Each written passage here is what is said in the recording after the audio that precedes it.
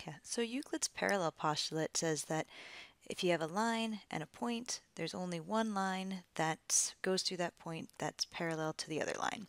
And this postulate leads to all sorts of lovely other theorems with the alternate interior angles and such. It also leads to a neat proof about triangles having 180 degrees. Um, but you don't need to really know all that to be able to answer this question because um, if you look at vertical angles are congruent, vertical angles are these guys. They have nothing to do with parallel lines at all. That's ridiculous. Um, so this is the only one that you could certainly prove without parallel lines because vertical angles have nothing to do with parallel lines. So this is the only one that can be proved without using his postulate. Check B is our answer. Done. Uh, 5 is the same idea if the statement is false about parallel lines, well, we could still talk about supplementary angles summing to 180 degrees because that's simply the definition of supplementary that has nothing to do with proving anything. We could certainly still prove that vertical angles are congruent because that has nothing to do with parallel lines. Um, base angles of the of an isosceles triangle being congruent there are no parallel lines in that. It has nothing to do with parallel lines. This guy's out.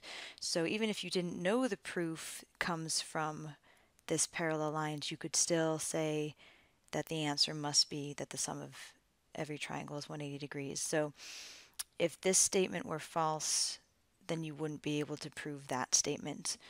And that's all they're going for.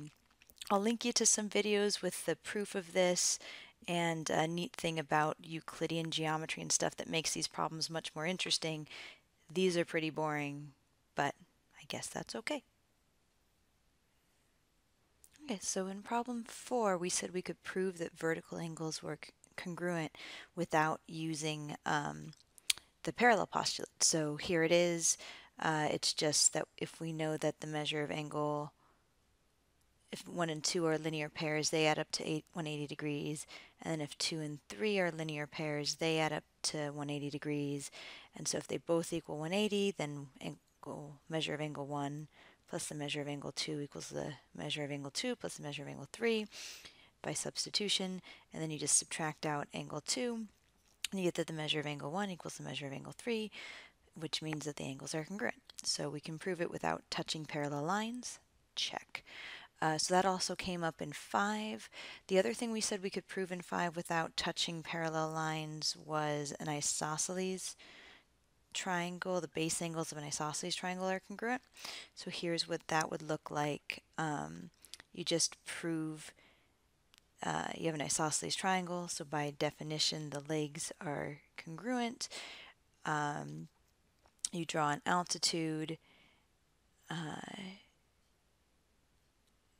definition of, yeah, so the altitude makes right angles with the base, and then you can say that those triangles are right triangles because they have right angles, and then you can prove the two triangles congruent by hypotenuse leg, and therefore their all their pieces are congruent by corresponding parts, so congruent triangles are congruent. So we proved that base angles of an isosceles triangles are congruent without touching parallel lines. And then the one proof that we did need parallel lines for was to prove that uh, the sum of the angles of a triangle are 180 degrees. This is 180 degrees. So this one's kind of neat. Uh, you know that 1 and 2 and 3 must all add up to 180. Um, because they're 180 degrees in a straight line. This is known. And then you need Euclid's postulate to say that the alternate interior angles are congruent, that 1 is the same as 4 and 3 is the same as 5. So if you replace 1 with 4 and 3 with 5, ha ha ha, we've got that 4 plus 2 plus 5 makes 180, check. So there we go.